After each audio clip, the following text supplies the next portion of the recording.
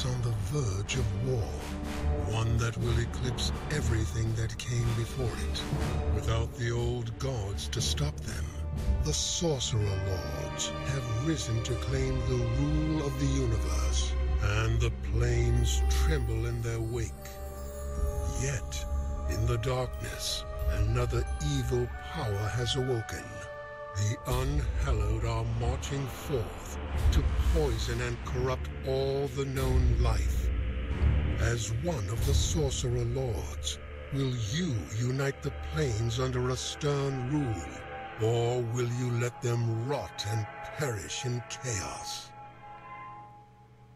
Greetings, programs. My name's Wretch, and I'd like to welcome you to Planar Conquest, a 4X strategy game by Wastelands Interactive that released on Steam yesterday. And a lot of people are saying that this game is the spiritual successor to the Master of Magic series by Microprose. Now, I've never actually played a Master of Magic game, however, I did play the Master of Magic scenario that was added with Civ 2, and it was one of my favorite scenarios of that game, and I played a lot of Civ 2.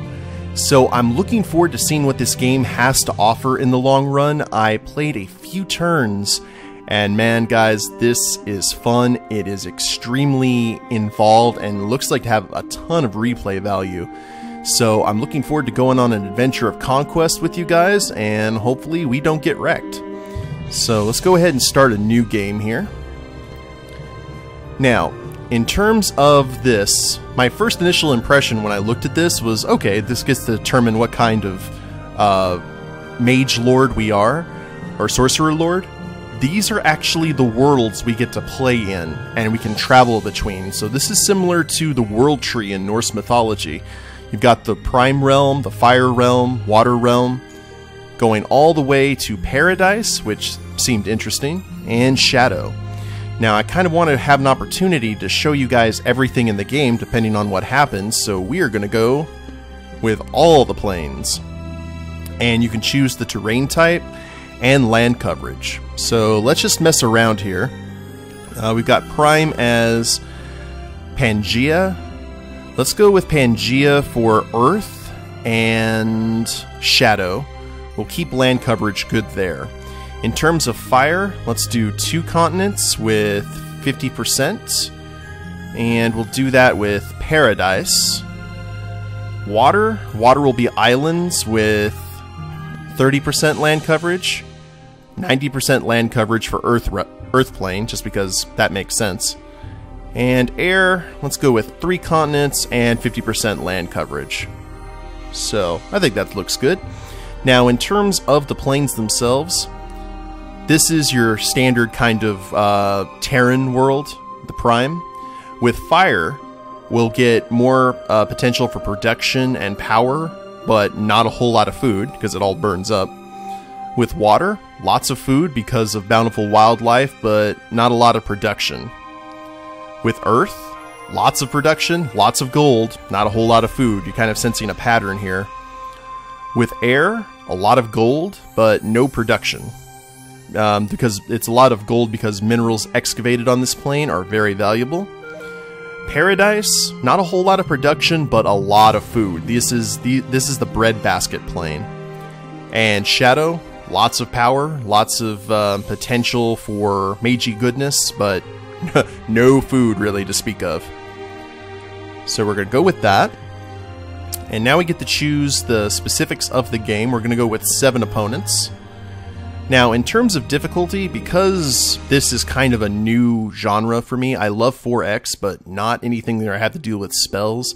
And from what I saw, the few turns that I did play, we're going to go with Mageling. I think that's a good balance. I normally play medium difficulty on these games, but because I'm like Donnie from Big Lebowski, I'm out of my element. We'll go with the middle between complete noob and experienced player. World size? Um, Select the size of planes. The bigger the maps, the higher the amount of possible opponents. We'll go ahead and keep medium since we're rocking out all the planes. Fast movement is on, game speed. Now, neutrals are like the villages in Civilization, so we're going to keep those with at with common frequency. Uh, features are frequent; those are gateways, nodes, ruins, dungeons. Uh, this is I, I can't wait to show you guys the game if you've never been familiar with the Master of Magic series because you're, you're in for a real treat, especially if you like D and Civilization. This is this is going to be your combo right here. Now we get to choose our faction. We've got the High Men, who are good at building. They have solid all around units and no distinct weaknesses. However, their disadvantage is they can't really specialize their units, and they have no offensive spellcasting units. Grey Elves, um, they have additional power income from population, and they have extremely mobile armies. However, they have really frail units and slow population growth. The Orcs, and I love any game that has orcs in it, they are strong, they have strong and quickly trained units, the ability to raid, and fast population growth, but they have no ranged units and they have poor research and magic capabilities. So they're very similar to the D&D orcs. They're really good in the military, but once the arcane kind of comes into play, they're at a definite disadvantage. Dwarves, they have very high production output, which you would expect, they're dwarves, and they have powerful and tough units.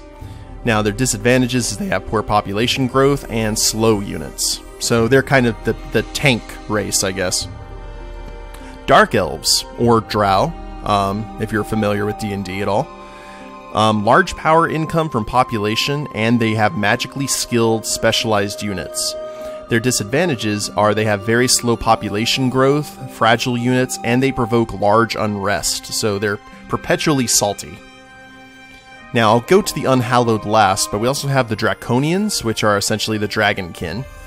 All units can fly, and they have additional power income from the population. However, they have very slow population growth, units with smaller amounts of figures, and they have high unrest because there's so few of them. Then you have the Myrmidons, which are bug people. Very low unrest and fast population growth, which is kind of a standard for bug races in uh, strategy games. However, they have bad magic skills, poor construction capabilities, and provoke large unrest in other races because they're so unlike the others. And then you have the Unhallowed, which are the undead, the big baddies in the game. They have powerful advanced units, no unrest, and a simplified economy.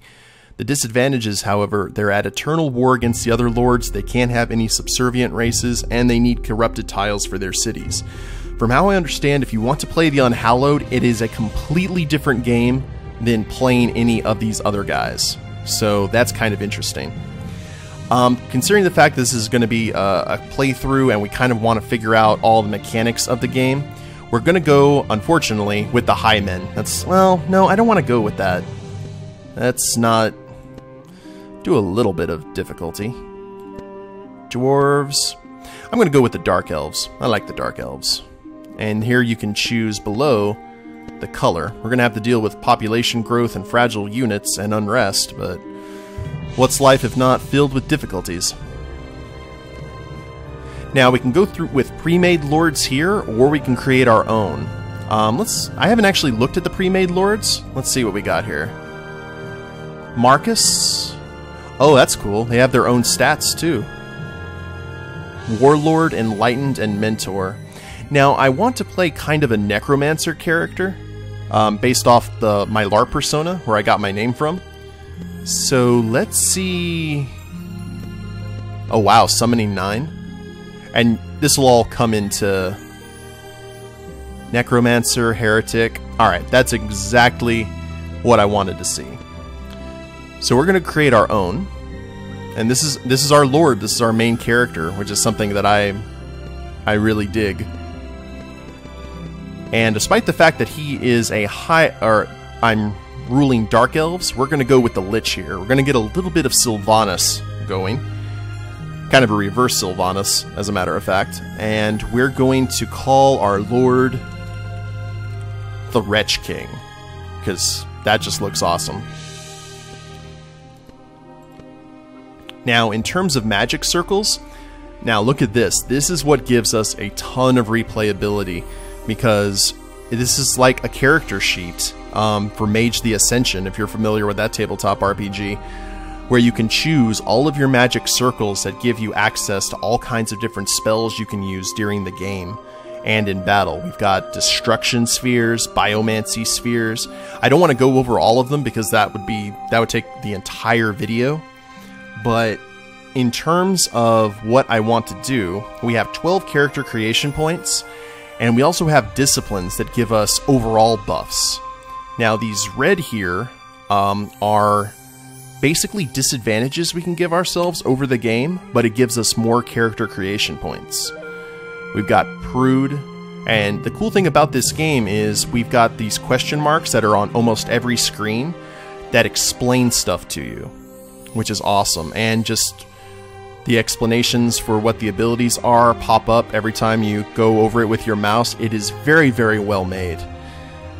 So, in terms of a necromancer, I'm going to go ahead and go with the Death Sphere.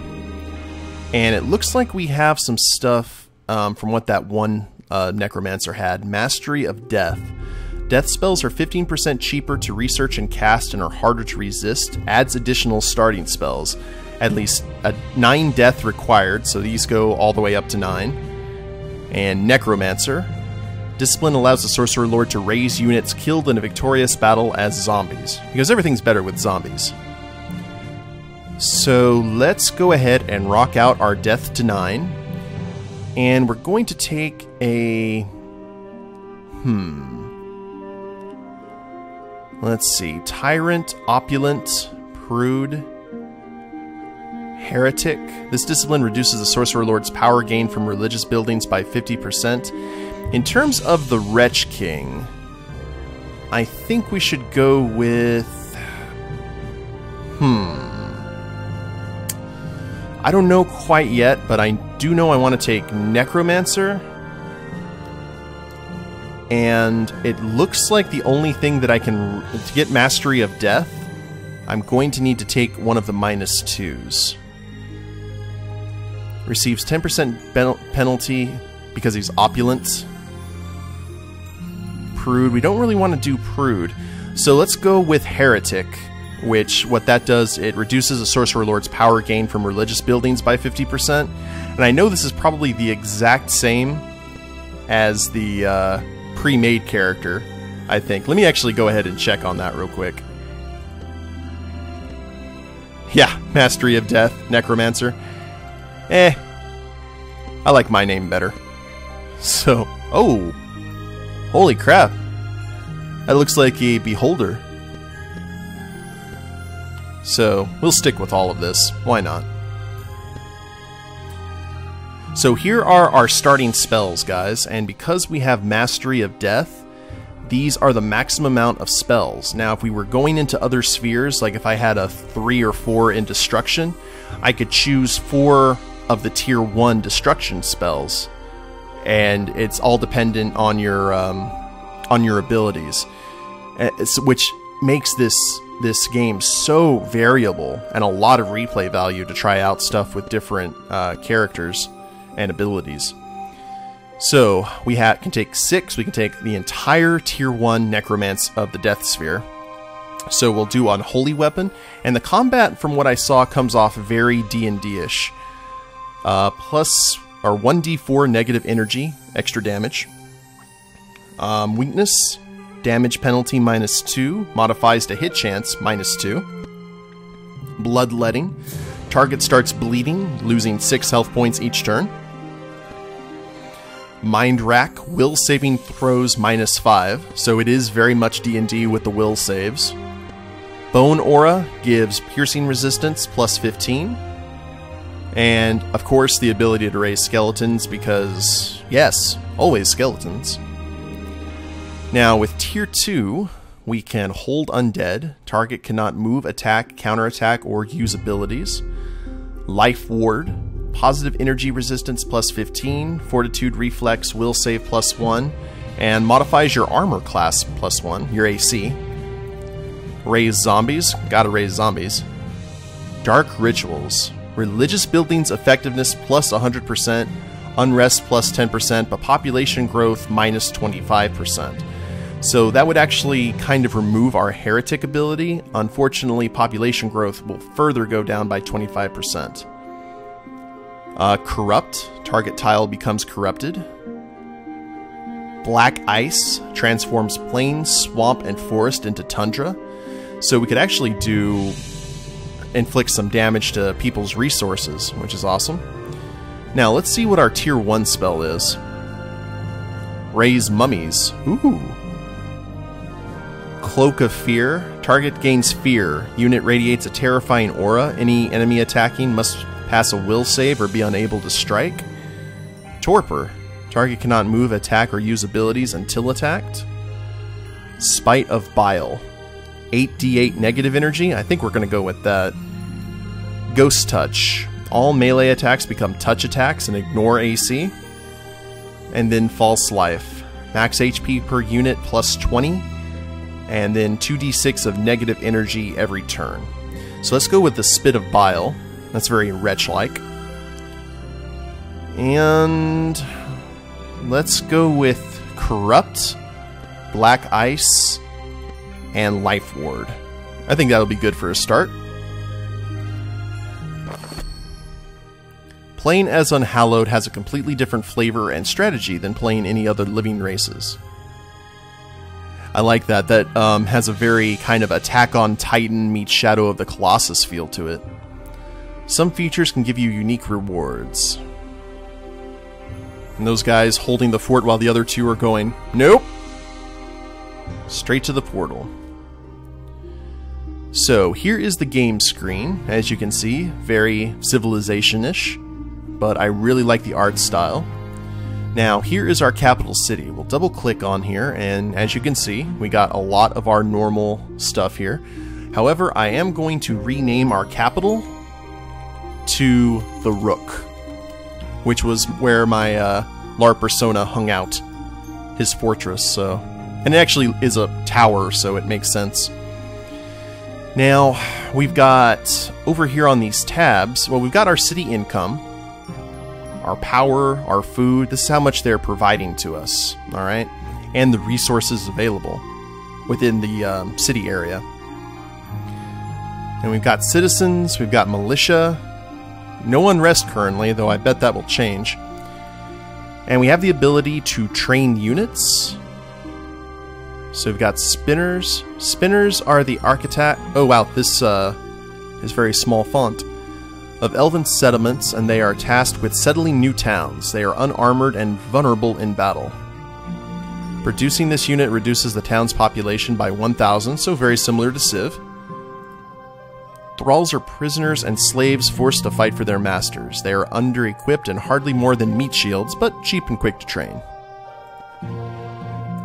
Wardens are light infantry to the Dark Elves. They wear no armor, using their agility to evade enemy blows and fight with two enchanted life-draining whips. Ooh. Enforcers provide range support for the armies of the Dark Elves. They are armed with metal crossbows. Zealots are dark elven cavalry. Armed with lances and protected by breastplates, they ride upon gigantic venomous spiders. They can easily scale castle walls. And arachnomancers. So look at all this stuff, man. This is awesome. We can also construct buildings, such as housing, trade goods, and uh, then we have the armory, the palisade, farmers market, miners guild, sages guild, sawmill. Now, one of the cool things we already have zealots, enforcers, wardens, and thralls. We have a starting army.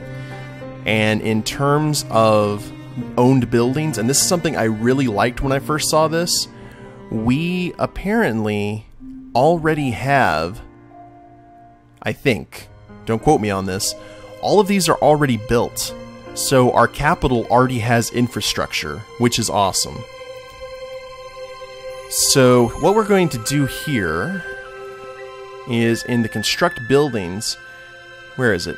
Right here, we can set the capital to auto build. And right here, a lot of this I'll have to explain um, as the situation warrants it. But here's our population right here, the plane that we're on, our capital, and I forget what that means, but actually, let's uh, see. There it is. Every time you summon a unit, it will be summoned to this city. So we have a summoner circle already here. So if we ever have to summon units for whatever reason, they'll show up here at the Rook. So, let's go ahead and auto build. And it looks like we are building a sawmill. Awesome. So here are our here's our awesome spider cavalry. And we have some treasure chests here. And looks these are essentially dungeons and counters that we can go and basically see what's going on. So in terms of unit orders, um, let's look here. If we can separate these guys at all. Thralls.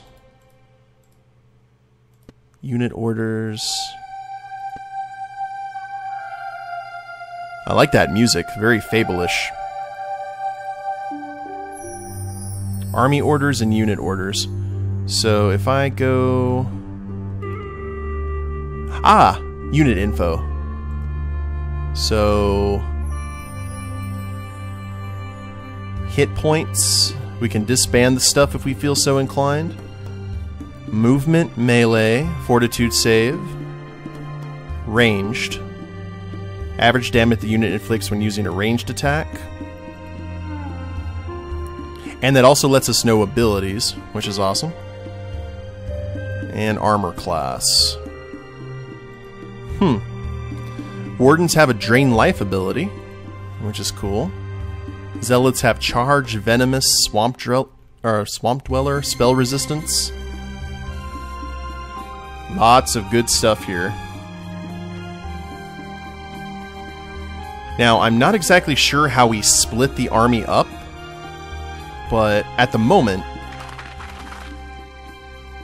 Experience Cache. This ornamental chest contains some scrolls of learning. These parchments can contain knowledge that can boost units' proficiency in battle. We also... Oh, we need to choose a spell to research.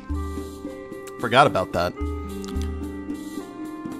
Recall Hero or Dispel Magic. And as you can see, in terms of the spells, those are the tier, um, how much research points these are going to cost, which for these ones up here would be 60. And that's pretty self-explanatory. So let's go ahead and learn Dispel Magic, because that's always handy, I, I find. And looks like we can do more, but for right now, let's just research one spell at a time. And we can keep on moving with our spiders. Ancient Ruins. Many civilizations have risen and fallen in this realm.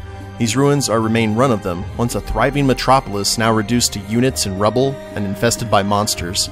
A settler might be able to found a new city here reusing some of the remnants. Ooh. That's kind of cool. But for right now, let's uh, send our spider over here to raid some chests. And as you can see, there's tons of stuff to do. So let's wait for the other players. And in terms of... Now, a lot of this stuff I'm going to have to experiment with off camera to see how exactly we split armies up and things of that nature. Gold chest, 12 gold. This ornamental chest contains a small quantity of ancient coins, trinkets, and other valuables that can be sold for gold. And looks like we have a watchtower here. Oh, we got a camp as well. Let's see what's going on here at this camp.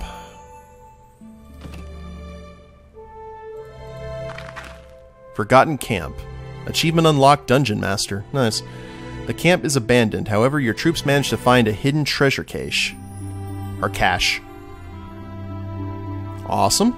And we've got engineers, whatever that entails.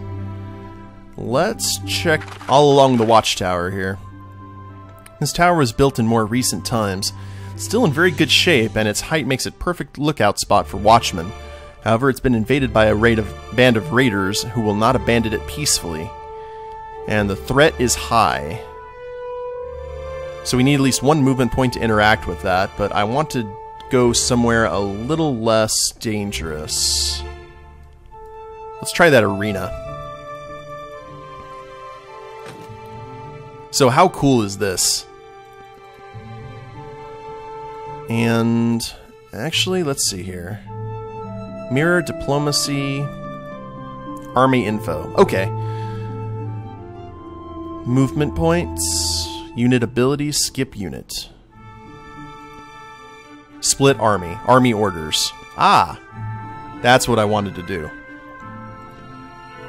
So we'll put the engineers over here as well as the thralls, because I want the thralls to uh, be hanging out for at base, just in case something bad happens. So, let's go ahead and send them there.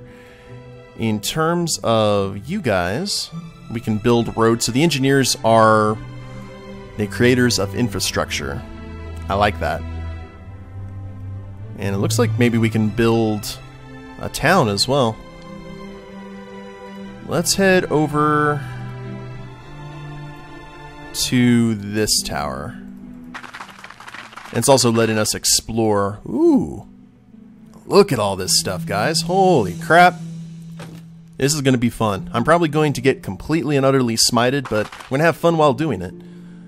Not much remains of this once powerful stronghold. Everything on the surface has been reduced to ruins.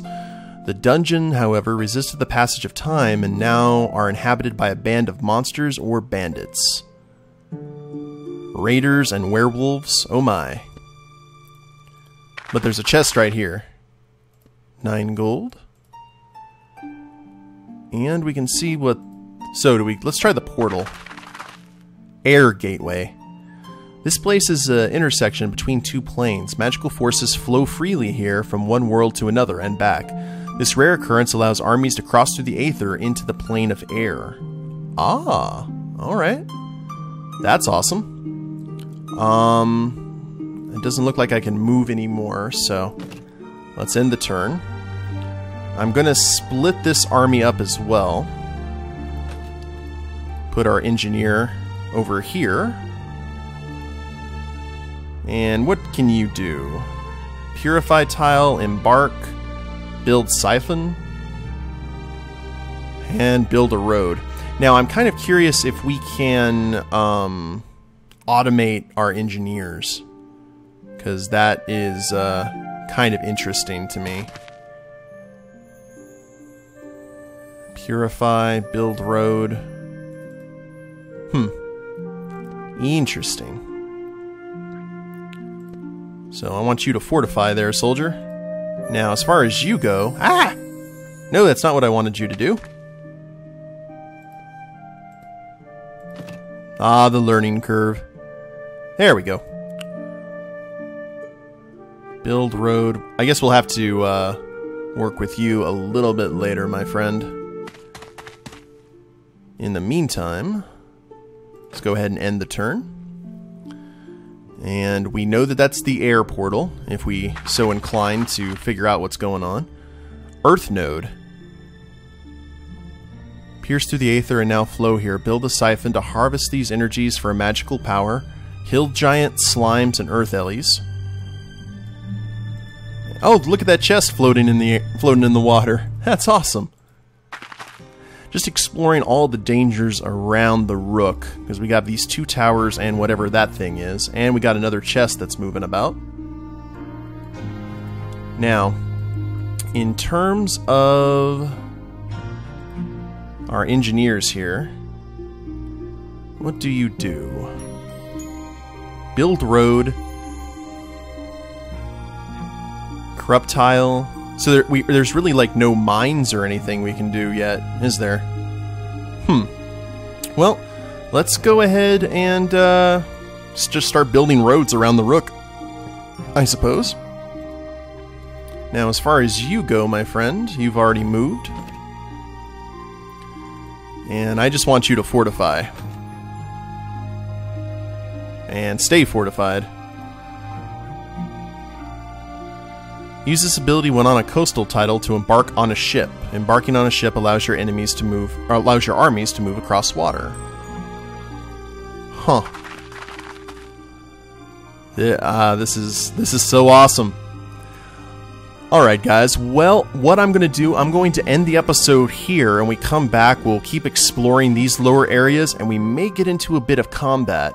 Um, I hope you guys are liking this. This game is available on Steam right now, and it's on sale for $20. So if you want to grab this, I strongly suggest getting it. As you can see, It is a ton of fun already. But if you liked the video, please leave a like down below, subscribe to the channel, leave a comment, that'd be a big help, and we'll see you next time. Later days, everyone.